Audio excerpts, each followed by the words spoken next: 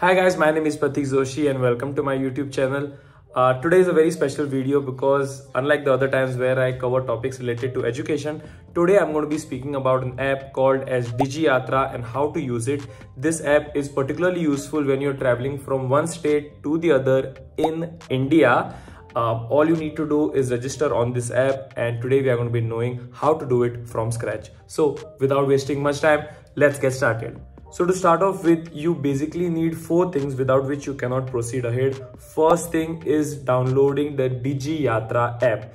This is the app that is available on App Store as well as Play Store. So make sure you download it on your smartphone. That's number one.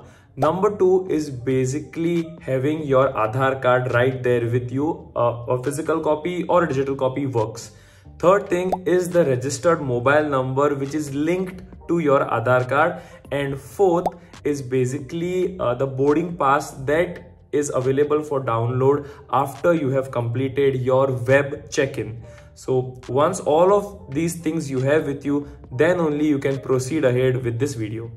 So let's move on to the screen recording so once I click on DigiYatra, click on uh, get started. Once that is done, enter your registered mobile number for the app.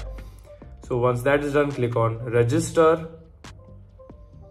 Then it says loading and now from here it will say enter OTP so on your uh, mobile number that you have added the OTP will arrive. So enter the OTP here. So I'm going to click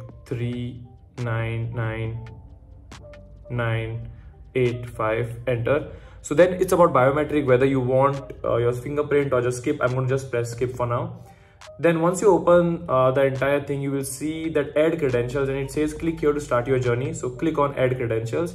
So once you click on uh, add credentials, click on the plus button that is there at the bottom right corner. So once you click on that, it will ask for continue with DigiLocker and Aadhaar card. I'm clicking Aadhaar card. Once that is done, it will ask for your consent for the data. So click on I agree. And then the DigiYatra will ask for your Aadhaar card number. Enter that and press submit. So once that is done, it says loading.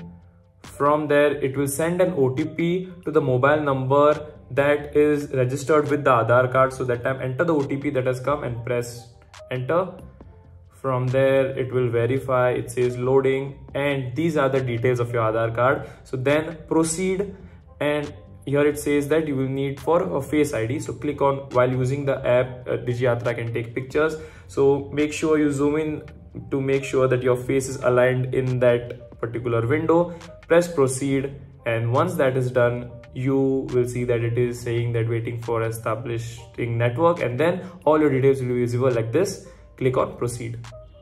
Once that is done your add credentials you have a tick mark there. Then press on the add boarding pass yellow button there once you click on that it is again asking for data so click on i agree now you have three options, scan boarding pass, upload boarding image and upload boarding PDF. I have the PDF, hence I'm click on that.